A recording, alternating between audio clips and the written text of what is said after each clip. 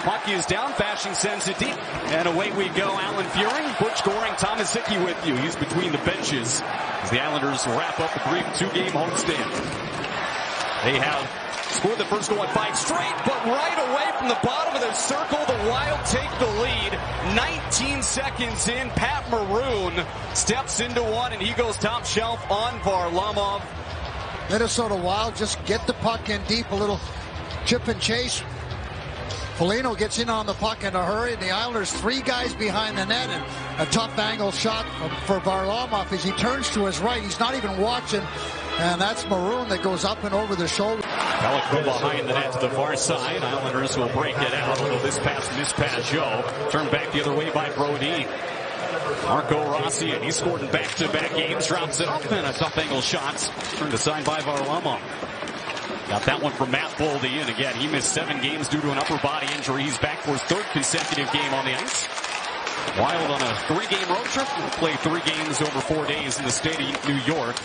Moving on to Madison Square Garden on Thursday, and then in Buffalo on Friday. Boldy up the wall. Brodin across. Kaprizov floats one towards the net. Battle in front. Pelech went down. Varlamov trying to locate it. And Wahlstrom. A last ditch effort's going to backhand it all the way down. Oh, Minnesota has allowed a power play goal in six of its last seven games. The New York Islanders power play one for eight over its last four. There's Nelson into Barzal driving the net. A backhand shot just missed. And it's picked up in stride by Brandon Duhaime. And he'll take it one on two through the neutral zone. Challenged by Dobson, got a shot off. Varlamov. Zuccarello took a hit from Cizikas, but gave the puck to Kaprizov.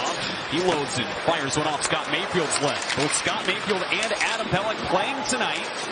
Turning shot, and this one winds up behind Varlamov's net. And another penalty call. Trying to find Foligno at the doorstep. Nelson closes in on him. Eriksson Ek's shot misses. On the near side, Middleton threw it to the net. Varlamov had to make a save. Islanders trying to get it out. Finally, Engvall does, but it came right to Middleton. Nice job by that Eriksson Ek line. They're just simple hockey, using the back of the net uh, as an out for themselves. Physical, strong along the boards and getting the puck to the net. Lee with the takeaway. Wahlstrom driving and a shot shrugged away.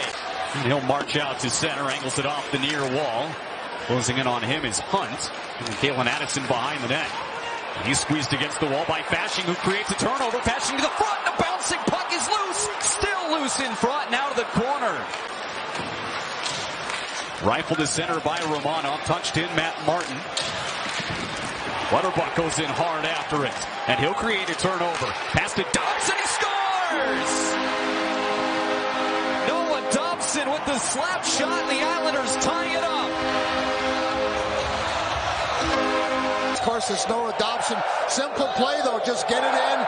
And as we've seen so many times, the Cizikas line gets in on the forecheck. Clutterbuck takes his man out. Matt Martin is there. Cizikas is helping out. Okay, let it get back to Noah, and he just sends a howitzer towards the net that beats Fleury.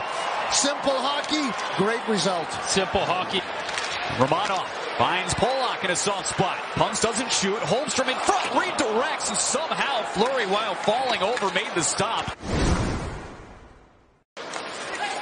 Wild in. Boldy from Kaprizov. Sends it back in a shot. Found the iron and skyrockets out of play. That was Jonas Brodin who went stick side on Varlamov. Like to jump up on the play, especially Brodin and Wild were able to hang on to that puck just, just long enough. Engvall crosses in, and then he'll curl and wait. Pass intended for Aho, and that's redirected out. And I got to make sure on that pass. Engvall back in, has Wahlstrom. He tries to drive to the net. He scores! What a play for Oliver Wahlstrom. The Islanders have their first lead of the night. Move after a pass from Engvall and just gets it around to his forehand. And we've seen him snap it before. Watch the move. Get it to the forehand. Bang, right up in the top hand corner in the toy department. Tremendous goal from Oliver Wahlstrom. That's the ability that this young player has. And it's good to get the power play go. Barzal again. Four on four continuing for 20 seconds. Hold on. Turns on the backhand. Flashy move. And he goes glove side. Fleury was ready for it. Their lead. As Hartman and Clutterbuck storm out of the box. Hartman immediately got the pass and it came off his stick. Wound around, Brodin to Boldy, one timer, and that one changes directions. Back up to the point, Brodin. Faber's all alone this way. Faber walks down the wall, and then he's closed in on by Pageau. Here's Lettieri's shot, they score! That may have been deflected in front, but Vinni Lettieri from the deep slot has tied the game with just under eight minutes to go in the second period. There were bodies in front, but Lettieri is the first one through the handshake line. Um, the Wild controlling the puck, getting going from point to point. And watch this shot from the from the point as he turns around, creates a little time and space in front of the net, and uh, certainly Varlamov is is screen looking for a way to find the puck. I've seen this now about five times, a ton of it in the first period. That's a forward playing up top. First it was Matt Boldy. We'll continue to show you an example. So the Islanders continue to pressure. A long shot by Holmstrom's kick back, and now a hook. The Islanders will have a power play. Fleury still without his stick. Islanders have an extra attacker. Here's Pageau. Fleury makes the stop, and it's stuck to him. Two goals for each side on 22 shots. Wild haven't had a shot on goal in the power play yet tonight. Zuccarello, soft spot between the circles for Rossi. And out high, Johansson to Zuccarello. Back through, one timer, they score! Kirill Kaprizov. Minnesota takes a 3-2 lead on the power play. And for Kirill Kaprizov, his fourth goal of this season. That's now 12 points in 12 games this year. It was knocked down in front of the net, and then this time they're able to, to get it through. You can see there's the first opportunity to get it through. Got to shade him just a little bit more, and the Islanders give him too much room, and he just drills it up and over the glove of Varlamov. No chance there as it gets right through the seam, and Varley gets a piece of it, but just not enough. Not many guys can get that much wood on it. Flicks it ahead for Eriksson Ek, although Pierre Engvall is the one who settles this down. Engvall's under attack, though he's got to be careful. Maroon's going to take it away. Pat Maroon to the doorstep. They score. A turnover in the Islanders zone costs them. And it's Eriksson Ek to make it 4-2. Yeah, just trying to do just a little bit too much, and Engvall gets stripped of the puck by Eriksson Ek, and uh, excuse me, by Pat Maroon. They don't win three, be part of three Stanley Cups, and look at he, he just never quit. Stays with it, never takes a penalty, finally wins the battle, and gets his head up in a hurry, and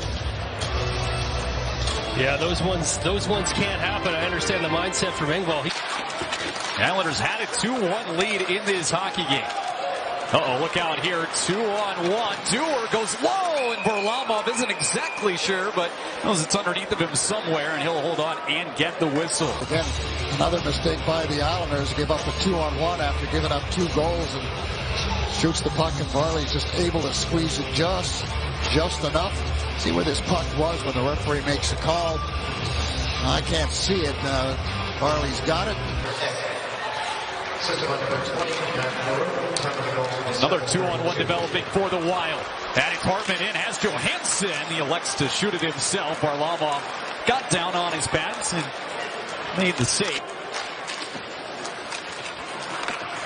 Off the face-off, Zaho across. Pull-on shot knocked down. Spun to the front, comes all the way through, and that'll do it tonight. So the Islanders still have not beaten Minnesota at home since February of 2019.